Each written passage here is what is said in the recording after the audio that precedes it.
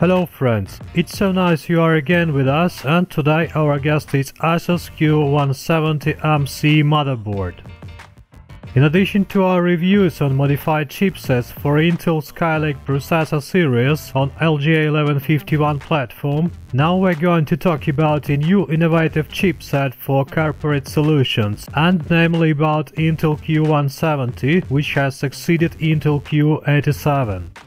Intel Q170 is very similar to Z170 compared to its key parameters. Moreover, it supports the same number of PCI Express 3.0 standard lines, as well as USB, SATA 3.0 and SATA Express ports. Also, as it was before, it has available line allotment between PCI Express 3.0 to 16 slots. Since Intel Q170 is a chipset for the corporate segment, its key advantage is the technology support of Intel Small Business Advantage or Intel SBA, as well as of Intel vPro compared to Z170. Intel SBA is the software allowing simplified computer administration, and Intel vPro is a built-in security system which is designed to increase the protection level. It is aimed to achieve the following key objectives. Protection against emergent threats including rootkits, viruses and malicious software. Protection of personal data and site access points. User and corporate protection of confidential information. Remote and local monitoring, PC and workstation restoration and repairing.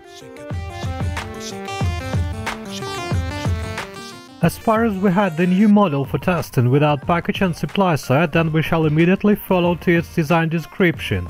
Asus Q170MC is made by Micro ATX standard. Its design is rather moderate and restrained. The only featuring element is the traditional yellow chipset radiator. The board component layout is implemented at a high level. All the ports and connectors have proper locations, so you will not have any problems with assembling and further system operation on the basis of the tested model. However, the graphics card with a dual-slot cooler can hinder access to one of the Crossfire SATA 3.0 ports. The PCB bottom includes the following elements. Front panel audio jack connection pad, one of the two COM ports, system fan socket and front panel connection pad. In addition, we shall note the availability of activation pads for USB 2.0 and 3.0 ports. In total, the board supports 4 USB 2.0 and 10 USB 3.0 ports. It is also possible to arrange your this subsystem by means of 6 SATA 3.0 ports. The tested board is equipped with 4 DIMM slots for installation of DDR4 RAM modules, which are equipped with latches on one side only for better convenience. Additionally, we shall mention the second pad for connecting the remote panel with USB 3.0 ports. During the board cooling system testing, we have recorded the following temperatures. The chipset temperature is correct, but the processor power subsystem component performance appeared to be significantly higher, although it is far from crucial values. The GPU power supply is implemented by 6-phase scheme for cores and other components. There are 4 PCI slots to extend the board functional usage, which include 2 PCI Express 3.0 to 16 slots for graphics cards installation. Only one of the two connectors uses 16 lines, whereas the second connector bandwidth is limited by 4 lines. Therefore, if you install two graphic cards, they will operate by 6 plus 4 scheme, which will not allow you to make use of their performance to the full extent. Network connection support is implemented by means of 1 GB Intel 1219L LAN controller. The audio subsystem is based on 8-channel HDA codec Realtek ALC887. This new product has a very proper external port configuration. In addition, we shall note that you can mount two COM ports and one LPT port on the rear case panel by means of appropriate pads on the printed board. The only drawback which is worth mentioning is the inconvenient multi-channel speakers connection. In this case you will need to use the audio outputs on the computer front panel.